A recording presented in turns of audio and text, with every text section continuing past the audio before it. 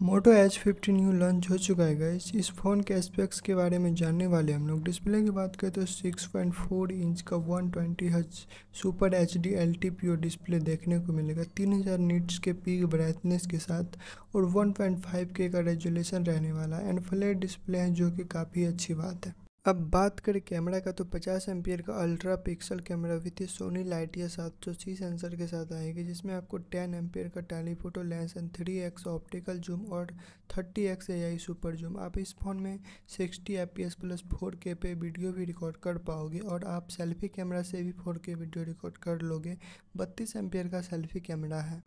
Processor जो है इस फ़ोन के Dimensity seven three double zero four nanometer पर बेस एक ऑक्टा कोर प्रोसेसर है, जिसका एंटोटो स्कोर छः लाख से सात लाख के अराउंड है।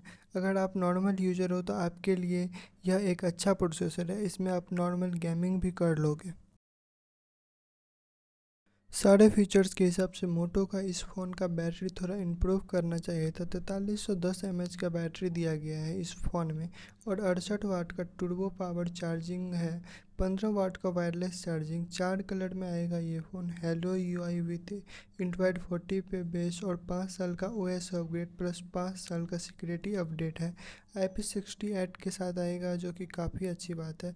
दो वेरिएंट में आएगा ये फ़ोन एक आठ जी बी और दो सौ छप्पन जी बी और एक बारह जी बी और पाँच सौ बारह जी बी और आज के लिए बस इतना ही। अगर आपको वीडियो अच्छा लगा हो तो लाइक एंड सब्सक्राइब कर लेना। Thanks for watching